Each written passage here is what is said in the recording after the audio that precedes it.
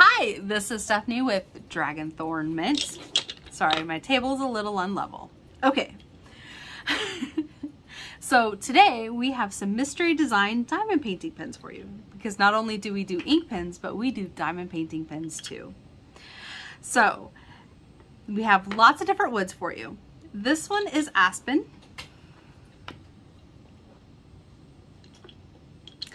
This one is cedar.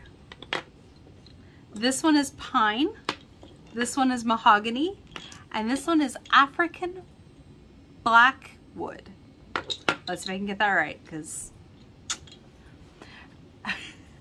they range from four inches and four to six inches in length. So depending on who does the wood turning is depending on how, how long the pin will be and how the design of the pen. Me and my husband both do wood turning on the pins. So he he has designed a couple of them that are good. So have I. or my favorite. This one is the African Blackwood and it is a very heavy dense wood and it is one of my favorites but also I like this one the pine because it is the light one of the lighter woods but it also gives yourself a different diameter.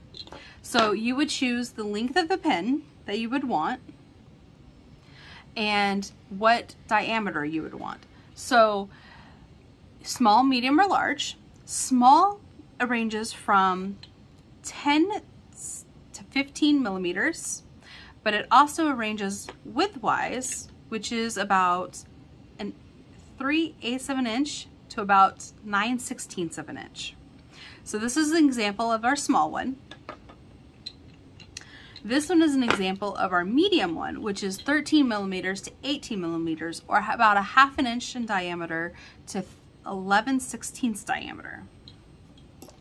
This one is an example of our large one, and it's about 16 millimeters to 19 millimeters in diameter, and it and that would be about 5 eighths of an inch to 3 fourths of an inch.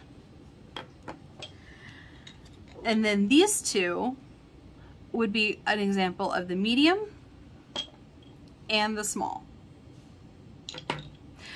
That's all I have for you today. So fly on over and pick up your diamond painting pin today. Bye.